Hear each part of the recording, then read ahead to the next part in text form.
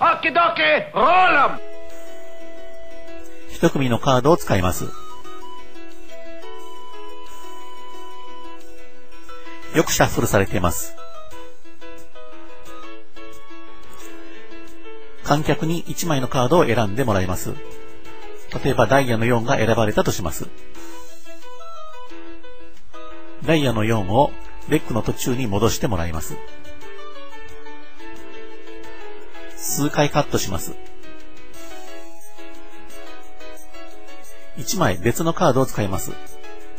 例えば、えー、クラブのキングです。クラブのキングをデックの途中に差し込みます。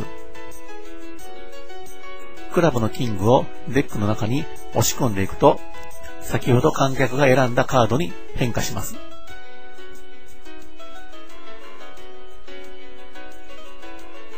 カードを押し込んでると完全に観客のカードに変化します。ダイヤの4は調べてもらうことができます。